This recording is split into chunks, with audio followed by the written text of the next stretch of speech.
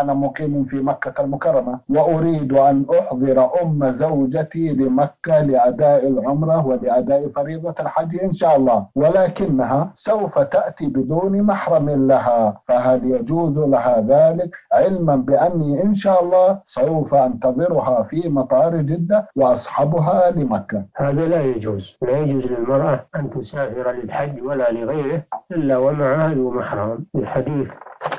آه، لا يحل لامرأة تؤمن بالله واليوم الآخر أن تسافر إلا ومعها ذو محرم والأحاديث في هذا كثيرة وهي في الصحاح فلا بد من المحرم للمرأة في السفر سواء سافرت عن طريق الجو أو عن طريق البحر أو عن طريق البر على أي وسيلة كانت من وسائل السفر لعموم الحديث فإذا أردت أن تحسن إليها وأن تحضرها للحج فسافر إليها وأتي بها إلا أن يكون هناك محرم غيرك يأتي بها فهذا واجب أن يصحبها المحرم نعم